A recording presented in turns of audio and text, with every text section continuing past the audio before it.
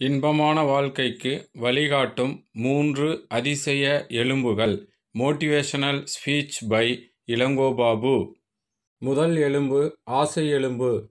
இது உணர்வுபூர்வமானது. கண்களால் நாம் இந்த எலும்பை பார்க்க இயலாது என்றாலும் நண்பர்களே இந்த ஆசை எலும்பு நம் ஐம்புலன்களுடன் தொடர்புடையது. நமக்குள் ஆசையை உண்டாக்கக்கூடியது. உண்டான ஆசையை தூண்டக்கூடியது.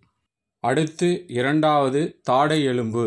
ஆசை எலும்பால் உண்டாகி தூண்டப்பட்ட ஆசையை அடைய வழி அமைத்து தருவதுதான் இந்த தாடை எலும்பு.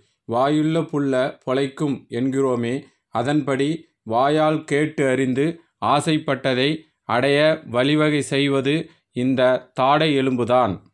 மூன்றாவது எலும்பு முதுகெலும்பு. நம் ஆசையின் மூலம் நாம் அடையும் பொருள் நியாயமானதாக இருந்தால் நம் ஆசை பிறரால் பாராட்டப்பட்டால் நாம் என்ன செய்வோம்? நிமிர்ந்து நிற்போம் தலை நிமிர்ந்து நிற்போம்.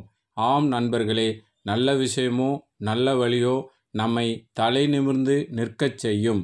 அதே தப்பான வழியில் சென்று தீய பழக்கத்திற்கு ஆளானால் கூனி குறுகி நிற்க வேண்டி வரும்.